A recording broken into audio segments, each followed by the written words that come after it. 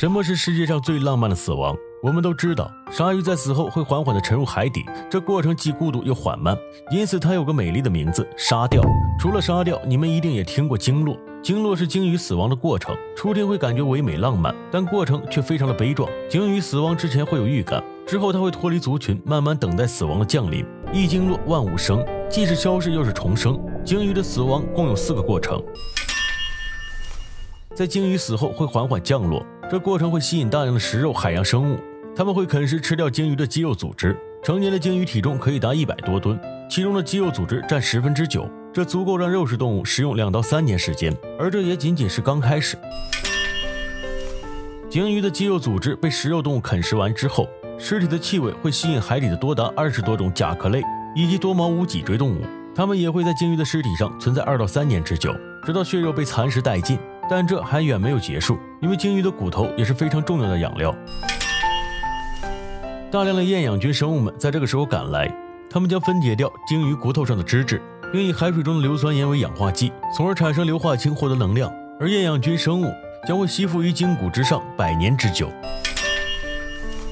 当鲸鱼的有机物质被消耗殆尽，鲸落还将以胶原的形式继续存在，成为很多小型鱼类的天然屏障，也成为海洋生物们的栖息地。据科学家统计，鲸鱼死后会为四十三个种类。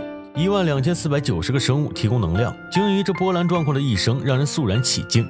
鲸鱼死后给海洋带来了无限的繁荣，也给海洋生物带来了无限的延续，是鲸鱼对自己生存的家园留存的宝贵财富，是鲸鱼对这片大海留存的最后温柔。但不是所有的鲸鱼都会自然沉入海底，也有一部分会搁浅在沙滩上。鲸鱼死后本应该沉入海底，回馈给大自然，但也有例外，部分的鲸鱼会搁浅在沙滩上，这就从浪漫的鲸落变为充满味道的鲸爆。鲸鱼在死亡之前吃过的食物，在死亡之后会产生气体，处理不当就会产生威力巨大的爆炸。满天的腐肉气息，漫天的鱼虾从天而降。一九七零年的十一月份，美国俄勒冈州的海岸之上，一头重约八吨的抹香鲸搁浅沙滩，但遗憾的是，它被发现之时已然奄奄一息。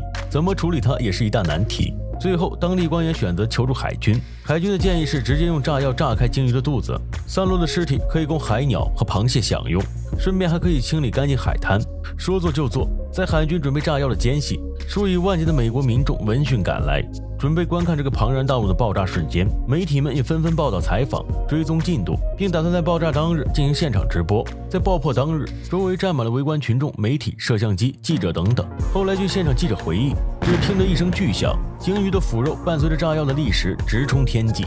大约有几十米之高，壮观非常。但接下来就发生了一件让所有人都难以忘怀的事情：被炸成碎片的鲸鱼尸体像下雨一样落了下来，空气中也充满了腥臭难闻的味道。所有人都慌忙逃窜，但只有他不可以撤离，因为他作为记者要担负起直播的重任。这种时刻，他只能自我打趣道：“鲸鱼腐肉飞到了奇怪的地方，我真是逊爆了，居然变成了脂肪记者。”但这种尴尬的时刻远还没有结束，因为还有更加让人哭笑不得的状况存在。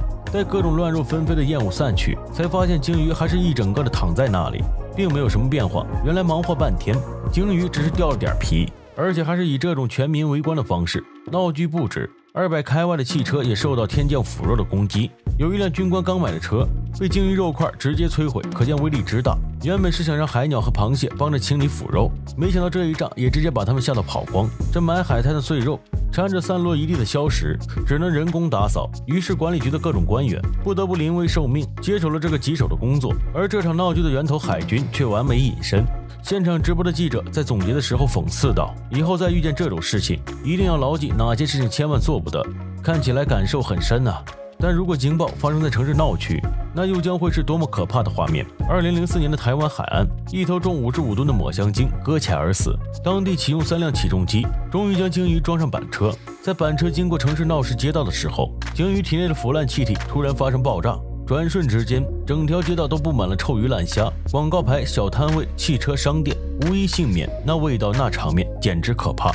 但这还不是鲸鱼稀少的最主要原因。在日本，鲸鱼是可以随意捕获的食物之一。二零零九年，美国导演拍摄了一部纪录片，名叫《海豚湾》，片中明确记载了日本捕杀海豚的全部过程。被鲜血染红了海湾，一具又一具的海豚尸体触目惊心，一时间世界哗然。但其实日本人对鲸鱼也并没有心慈手软。日本是世界上最大的捕鲸国、食鲸国，早在四百年之前。日本就开始了捕鲸之路，虽然这一举动引起了国际社会以及保护组织的反对，但日本人依旧我行我素，让全世界人民为之愤怒。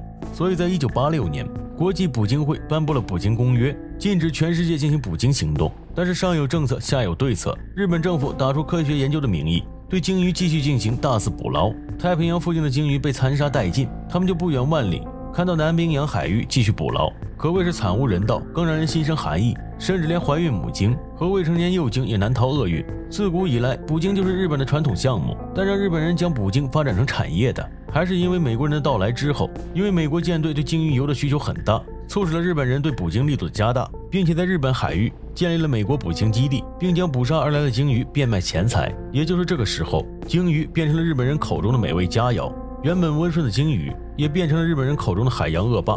一九七一年，美国总统尼克松提出保护鲸鱼的政策，这一政策也得到了不少盟友的支持。在众多国家的施压下，日本捕鲸行为也得到了遏制。但究其原因，为什么日本人如此顽固，要对鲸鱼穷追不舍？原来，日本人认为。禁止捕鲸是美国打压日本经济发展、抢占日本粮食市场的一种恶性竞争，所以这就是日本政府宁可顶着各方压力，也要坚持捕捞的重要原因。日本政府在二零一二年发起的调查显示，仅有百分之十八点五的民众支持禁止捕杀鲸鱼，可以见得这个民族并没有为此进行过反思。鲸鱼是海洋中最重要的存在，它像一个孤独的旅行者，也像是一个孤寂的守护者。他把一生都奉献给了大海，奉献给了这片养育他、哺育他、也埋葬他的地方，生生不息，方能长久。保护鲸鱼不仅仅是保护海洋，也是保护地球，保护我们自己。